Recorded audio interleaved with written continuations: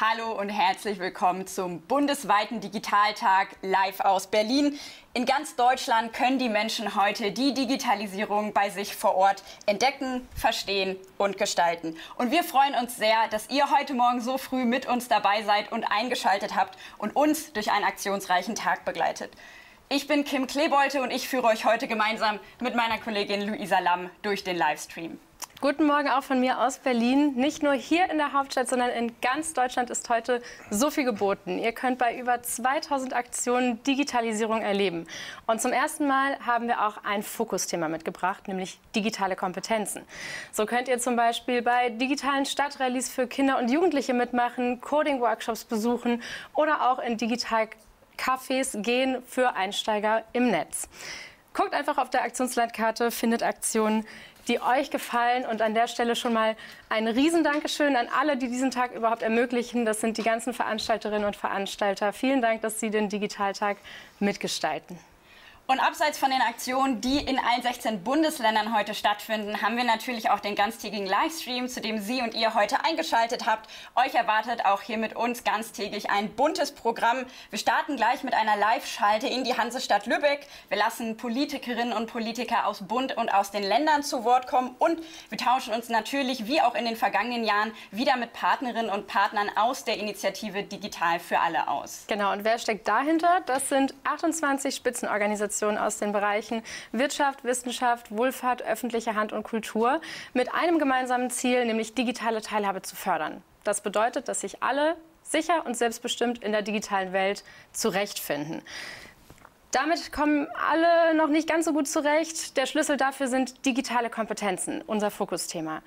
Wir haben aber gesehen, dass Menschen in Deutschland die nur als befriedigend einschätzen. Menschen geben sich nur eine Schulnote 3. Die Jüngeren zwischen 16 und 29 Jahren schneiden hier mit 2,5 etwas besser ab. Die Älteren über 65 stufen ihre digitalen Fähigkeiten allerdings nur als ausreichend ein.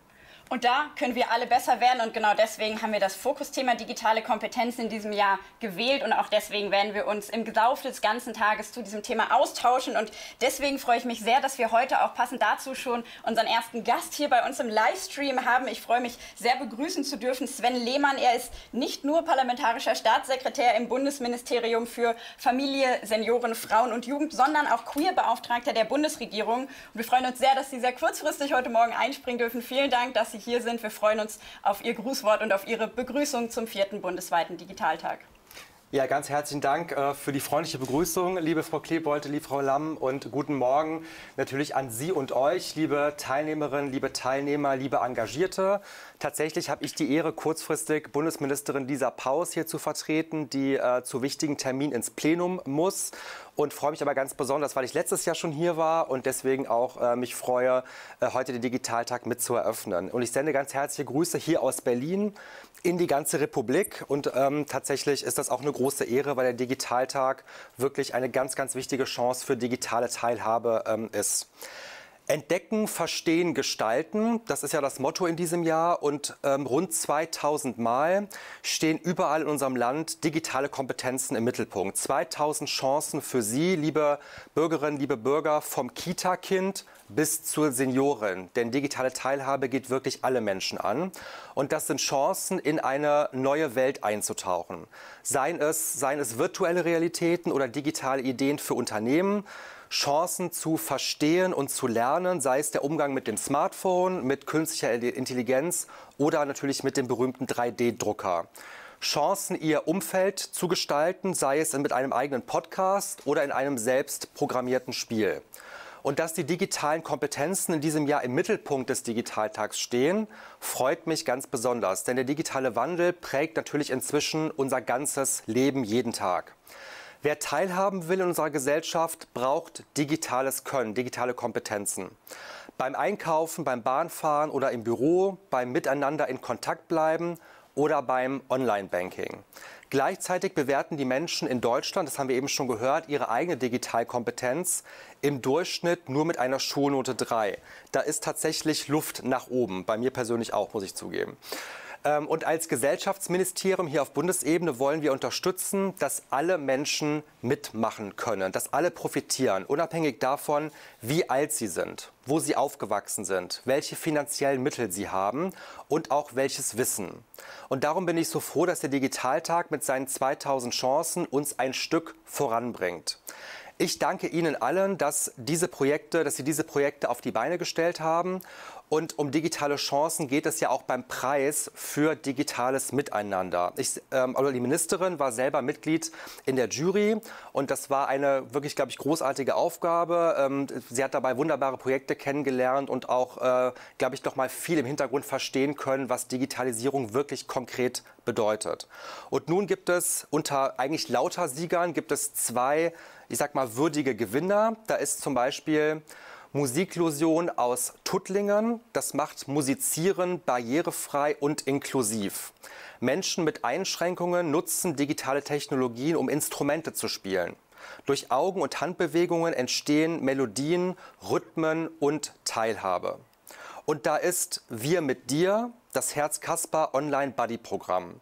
Hier unterstützen junge Menschen Gleichaltrige, die lange Zeit im Krankenhaus verbringen müssen und sie tragen damit Leichtigkeit und Freude in den Klinikalltag, analog und online. Und ich kann Ihnen verraten, diese Projekte waren auch zwei unserer größten Favoriten, denn sie zeigen wirklich auf beeindruckende Weise, wie digitale Technik Menschen nutzen kann.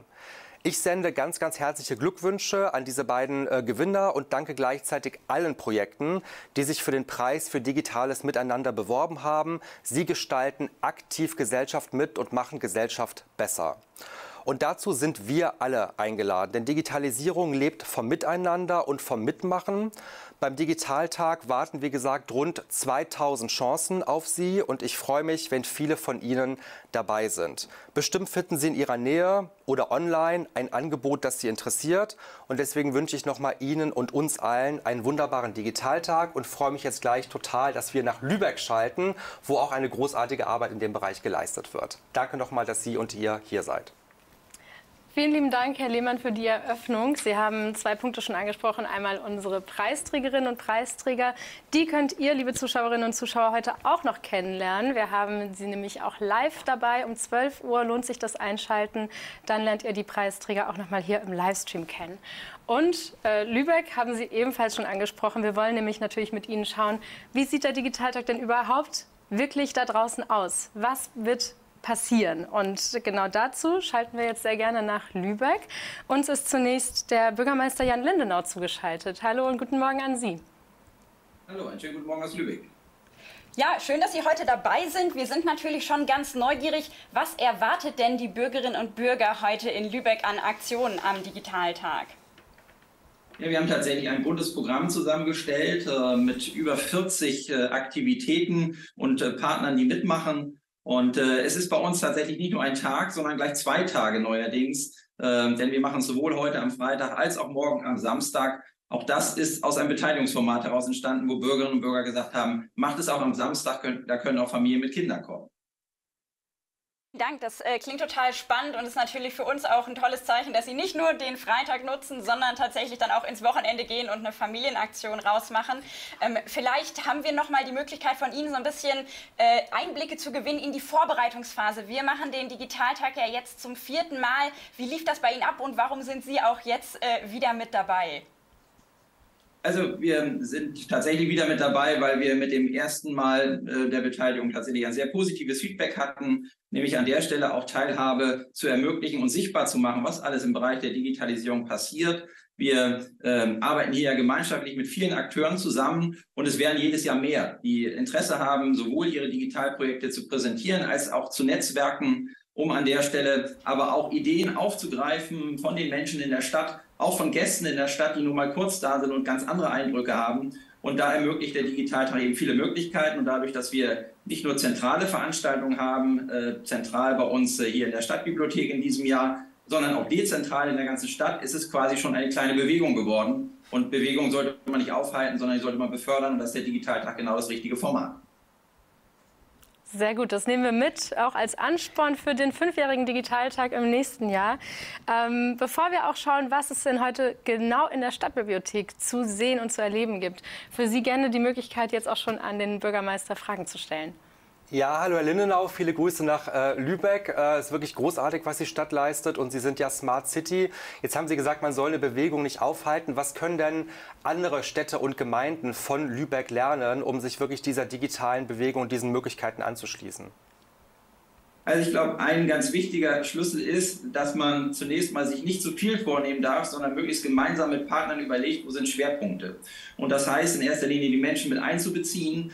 Ähm, das heißt auch über feste Strukturen das Ganze abzusichern. Wir haben beispielsweise in der Stadtverwaltung tatsächlich zentral organisiert alle wichtigen Themen der digitalen Entwicklung auch organisatorisch zusammengebunden. Aber wir haben auch die Stadtgesellschaft eingebunden, beispielsweise mit dem sogenannten Energiecluster Digitales Lübeck, wo mittlerweile über 50 Mitglieder aus den unterschiedlichsten Bereichen der, Stadt, der Stadtgesellschaft Mitglied sind, sich einbringen mit Projekten, aber auch im Netzwerken oder aber eben auch äh, durch die Einrichtung einer Medienwerkstatt, wo wir Menschen an digitale ähm, ja, Möglichkeiten heranführen. Denn das, was vorhin gerade auch gesagt worden ist zu der Umfrage, wie schätzen sich die Menschen selbst ein, das ist eben ein Thema, das damit auch häufig Angst verbunden ist. Kann ich das, kann ich das nicht? Überfordert mich das? Und da wirklich alle mitzunehmen, ist wichtig und deswegen zum Beispiel wie eine Medienwerkstatt, wo man testen kann, ausprobieren kann, Technik auch testen kann, bevor man sie möglicherweise selber anschafft. Also das aktive Mitmachen und Einbinden ist, glaube ich, ein ganz wesentlicher Schlüssel. Und dann zu sagen, Stück für Stück, ohne einen riesigen Masterplan zu haben, sondern erstmal zu sagen, wo sind die Bedarfe, wo sind die Lösungen, wie wollen wir sie zusammen umsetzen. Also den partizipativen Ansatz, ich glaube, das ist der Schlüssel, um erfolgreich zu sein, um auch alle mitzunehmen. Darf ich noch eine Nachfrage stellen? Das heißt, Sie haben dann sozusagen, um diesen partizipativen Ansatz zu gewährleisten und auch natürlich auch Menschen zu erreichen, die beispielsweise älter sind und vielleicht sich nicht so viel digitale Kompetenz zutrauen, äh, arbeiten Sie auch intensiv dann zum Beispiel mit sowas wie Seniorenbeirat oder Wohlfahrtsverbänden, Sozialorganisationen zusammen. Vielleicht können Sie uns da noch ein bisschen sagen, wie Sie genau dann über Strukturen auch Menschen erreichen, die vielleicht selber von sich sagen, ich bin gar nicht digital und ich kann das nicht, aber dann vielleicht die Chance haben, doch viel zu lernen.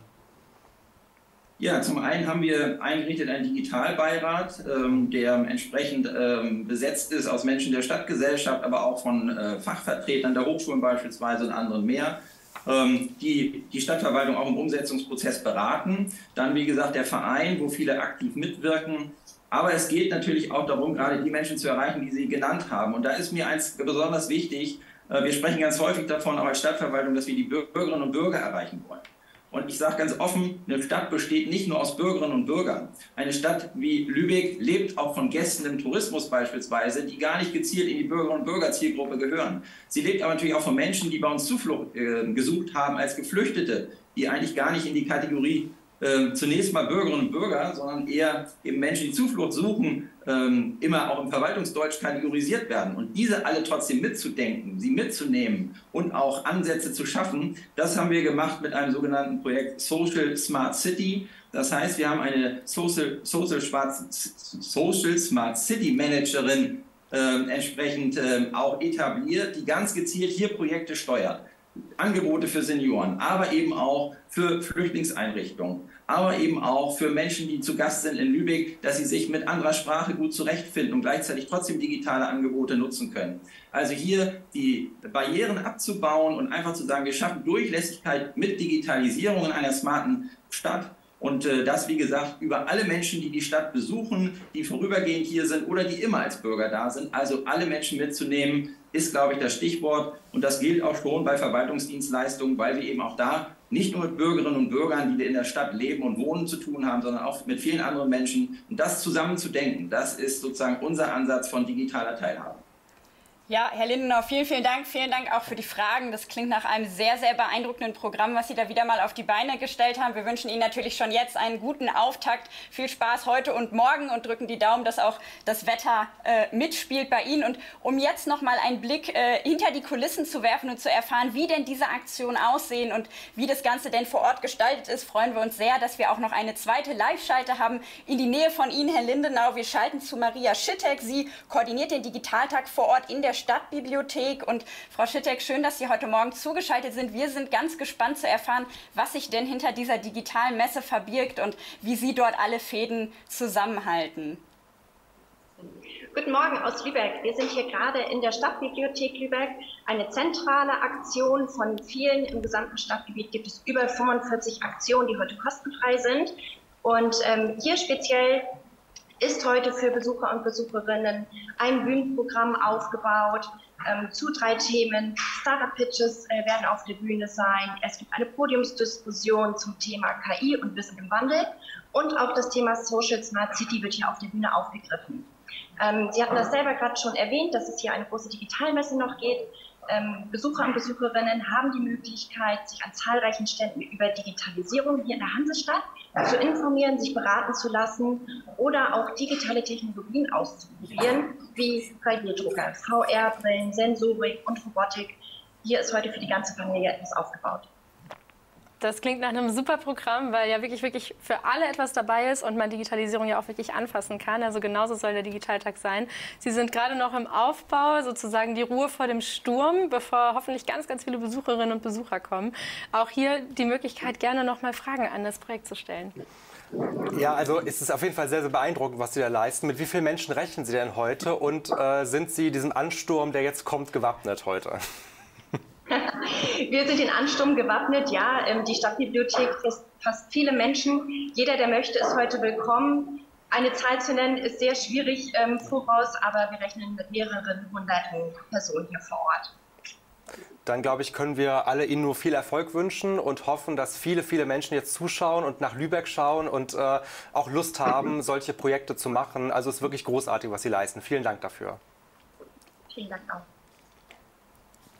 Vielen lieben Dank. Vielleicht noch ein Highlight. Ähm, was würden Sie denn heute am liebsten oder haben Sie einen Tipp für unsere Zuschauerinnen und Zuschauer in die Stadtbibliothek? Was sollte man sich da nicht entgehen lassen? Ja, mein persönliches Highlight ist heute Roboter Pepper, der jegliche Fragen beantworten kann, egal welche, da er mittels ChatGPT und weiterer KI ähm, programmiert wurde. Und ich glaube, da können wir viel Spaß heute mit haben. Wunderbar, Sie sehen äh, hier lachende Gesichter im Studio. Wir sind, glaube ich, so ein bisschen neidisch, dass wir nicht selber mit ausprobieren dürfen. Aber vielen, vielen Dank äh, an Sie, Frau Schittig, an Sie, Herr Lindenau, ähm, dass Sie uns Einblicke gewährt haben. Wir drücken Ihnen die Daumen für die über 45 Aktionen, die heute in der Hansestadt Lübeck anstehen. Einen ganz tollen Tag und wir sind schon sehr gespannt, Fotos und Impressionen im Laufe des Tages mitverfolgen zu dürfen und dann natürlich auch zu sehen, wie es Ihnen heute und morgen ergangen ist. Vielen, vielen Dank und viel Erfolg. Danke. Vielen Dank. Genau, und wir sind tatsächlich damit schon am Ende unserer Eröffnung angekommen. Das ging sehr fix, aber wir hoffen, dass wir euch zu Hause vor den Bildschirmen einen kleinen Einblick geben konnten, was die Idee des Digitaltags ist und wie das Ganze tatsächlich auch vor Ort gestaltet wird. Und wir möchten uns natürlich auch nochmal hier im Studio bei Herrn Lehmann bedanken. Vielen Dank für sehr die gerne. Grußworte zum Digitaltag, für das neugierige Fragen stellen. Danke, dass Sie da waren und ja, hoffentlich auch heute einen guten Digitaltag haben werden. Vielen Dank. Vielen Dank für die Einladung und äh, viel Freude. Das wird, glaube ich, richtig gut heute. Wunderbar, da sind wir sicher. Und bevor wir weiter äh, losgehen, starten natürlich jetzt direkt auch um 9 Uhr schon einige Digitaltag-Aktionen im ganzen Bundesgebiet. Wir haben einen Blick auf unsere Karte geworfen. Luisa, was steht denn heute so an? Was erwartet uns in Deutschland? Wo soll man da anfangen bei den über 2000 Aktionen? Also schaut wirklich gerne selbst mal auf digitaltag.eu auf unserer Aktionslandkarte vorbei. Wir haben aber drei Tipps mitgebracht. Und zwar äh, die Stadt Amberg in Bayern. Wenn ihr dort also seid, schaut gerne mal vorbei. Entlang der Rathausstraße ist hier eine Infomeile aufgebaut mit ganz vielen Ständen, wo ihr auch selbst mitmachen könnt. Vielleicht ähnlich wie in Lübeck. Also da ist viel geboten. Schaut einfach mal vorbei. Auch hier bei uns in Berlin ist einiges los. Dort startet jetzt im Jobcenter Pankow eine Aktion. Bis äh, zum Mittag könnt ihr dorthin gehen und mit VR-Brillen die Zukunft der Arbeitswelt ausprobieren, mal in neue Berufe schlüpfen und einfach mal gucken, wie man sich da auch mit neuen Technologien weiterbilden kann. Und für alle, die sich jetzt online zuschalten möchten, hat der Landkreis Regensburg etwas im Angebot. Hier berichten nämlich zwei Startups, wie man die Digitalisierung auch im ländlichen Raum voranbringt und wie das mit der Digitalisierung im ländlichen Raum gut gelingen kann. Ja, Herr Lehmann hat es gerade schon gesagt, ähm, das wird gut, das wird sicher ein klasse Tag und wir freuen uns, wenn ihr ihn nicht nur hier bei uns im Livestream begleitet, sondern auch im Netz dazu Fotos, Videos und Impressionen teilt. Macht das sehr gerne unter dem Hashtag Digitaltag. Ihr findet bei uns auf der Website digitaltag.eu auch eine Social Wall. Das heißt, ihr könnt auch sehen, was sonst so im gesamten Bundesgebiet heute zum Digitaltag auf die Beine gestellt wird. Also macht gerne mit bei Twitter und Co. Wir freuen uns, wenn ihr das Ganze begleitet. Und bevor wir einen Ausblick geben, wie es hier bei uns im Livestream weitergeht, möchten wir uns uns natürlich an dieser Stelle vor allem auch schon einmal bei all den Partnerinnen und Partnern bedanken, ohne die das Ganze nicht möglich wäre. Wir freuen uns sehr, dass erneut wieder als Förderer des Digitaltags mit dabei sind die Deutsche Telekom, Vodafone und SAP, denn ohne Förderer in der Hinterhand wäre so ein Aktionstag nicht möglich. Genau, und damit der Digitaltag auch ganz viele Menschen da draußen in Deutschland erreicht, braucht es auch starke Medienpartner. Da haben wir fünf Stück und das ist nämlich Wall, die FAZ, Heise Medien, Prisma und Table Media. Ganz vielen Dank. Genau, und wir scheinen tatsächlich auch über die deutschen Grenzen zu wirken, was uns sehr freut, denn der Gast unserer ersten Videobotschaft im Livestream ist heute in Japan, sendet Grüße aus Japan. Das ist Bundesminister Dr. Volker Wissing aus dem Ministerium für Digitalisierung und Verkehr. Wir sind sehr gespannt, was er zum Digitaltag zu sehen und zu sagen hat. Und wir sind dann hier im Livestream um 9.15 Uhr wieder zurück und haben den ersten Gast aus unserem Partnernetzwerk, den Präsidenten des Deutschen Städtetags. Bis dahin liebe Grüße und viel Spaß. Bis gleich.